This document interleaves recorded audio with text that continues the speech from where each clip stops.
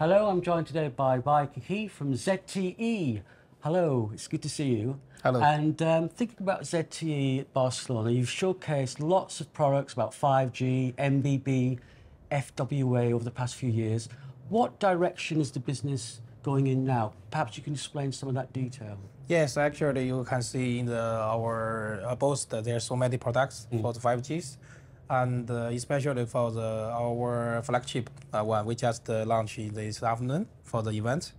And actually, in the, uh, for ZTE, MBB, and uh, FWA, we have made the top one market share for the last year.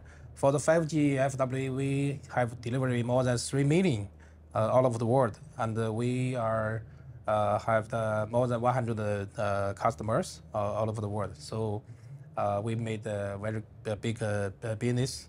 So in the future, we also think about how we can provide the new innovation and the new technology to the customers, to the end users. So our understanding is that in the future, we will focus on the three ways, the three directions. The one is the G green, one is the intelligence, and uh, security. So we call it uh, GIS. So this is our new uh, direction and the new uh, uh, technical in the future. right. The future. Yes. Perhaps we can get on to that just a little bit later. But um, in terms of actual products, uh, it's MBB, FWA, and the innovation surrounding them. What what products are going to be launched this year from ZTE? New products. actually, for our new product, we are mainly focused on three uh, parts. The one is the the personal and the family parts mm. for the yeah. end users. Another is the like the operators, uh, like the uh, our B2B the market. Yes. Another uh, way is our the I think the industry IoT. So in these three areas, yes. And we touched on it. Well, you touched on it. Was GIS, and this is something that ZTE has proposed, isn't it? Um, yes. Uh, why did you do that, and have any products been implemented? Yeah, actually, our new uh, technology will implement, will implement on our new flagship, and uh, uh, in the future, and next we will do all of the products. We will all launch the GIS. Why we do the GIS? Because we are we are noticed that for the uh, the uh, green the green the the cost effective and also the security, and also you know the uh, for the green uh, in the future, more and more people and care about the the, the cost and the, the reduce the power the power reduce power uh, power consumption. So that's why we want to do this area and uh, to help our customer feel the better world.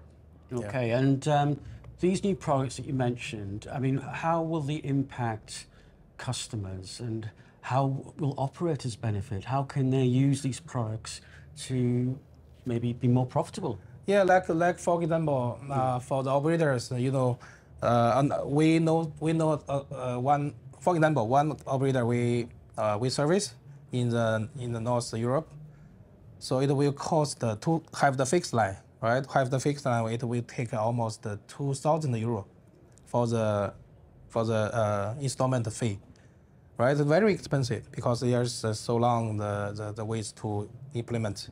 But uh, you know, use our 5G FWA, easy plus easy in, right? Very very easy to to get in. Another case that in Japan, right? If you do the FW, uh, the fixed line, you need to wait more than one month to have the engineers come uh, come in come your house to implement. But like 5 uh, FWA, you just pay the money and take the products from the shop. Yeah, it's very easy to use. So that's why that's a benefit factor too. From the easy, from the easy, uh, easier use, from the cost, cost effective, this is very good for the benefit for the customer, for our users. Well, 5G FWA is a big topic here in Barcelona. And thanks very much for sharing the ZTE innovation story. Thanks very much. Thank you very much. Bye. Bye.